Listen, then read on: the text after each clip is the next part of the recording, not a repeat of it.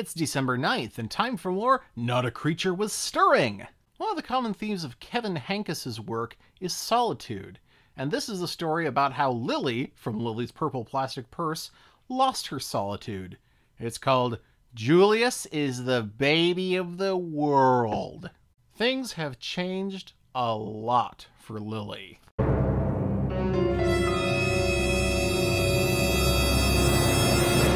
No, don't freak out. It's just a pillow. She's just pretending. Before Julius was born, Lily was the best big sister in the world. She gave him things, she told him secrets, and she sang lullabies to him every night. After Julius was born, it was a different story. Lily took her things back, she pinched his tail, and she yelled insulting comments into his crib. I am the queen, Said Lily. and I hate Julius. Lily had to share her room with Julius. After Julius goes away, do I get my room back? Lily was supposed to be very quiet while Julius slept. After Julius goes away, can I talk like a normal person again? Julius isn't going anywhere. We love you, Julius. You're beautiful, Julius. I hate you. You're ugly.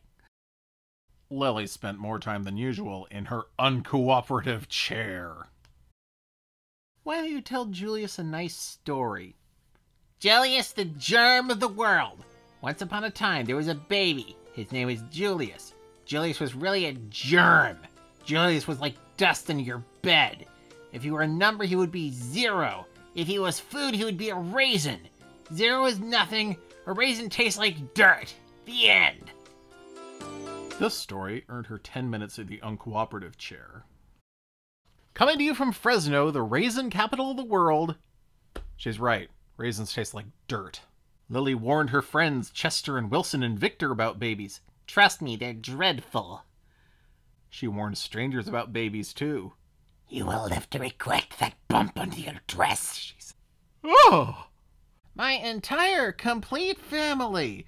Lily, mom, dad, me. That's all there is, really. this is all feeling entirely too familiar to me. But, as any younger sibling can tell you, there's one really great thing about having an older sibling that comes to you very early on, Disgusting, said Cousin Garland. What? said Lily. Julius. Said Cousin Garland. I think his wet pink nose is slimy. I think his small black eyes are beady. And I think his sweet white fur is not so sweet. He needs his diaper changed.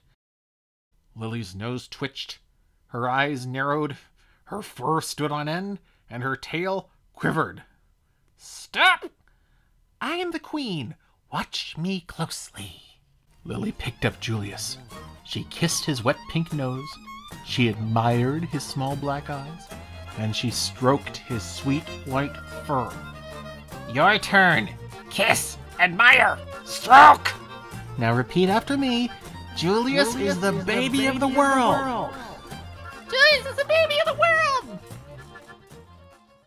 Actually, this book takes place before Lily's Purple Plastic Purse. Julius actually appears in that, just not for long. Because Mr. Henkes is a cartoonist as well as a writer, let me count down my favorite little details in this book. One, Lily's uh, flattering portrait of her pregnant mother. Two, Lily's hideous googly eyed monster mask that she uses every chance she gets. Three, this picture. and four, Groucho glasses. Groucho glasses everywhere. Every opportunity he gets, even if just to liven up a picture, Henkes throws in Groucho glasses. But wait.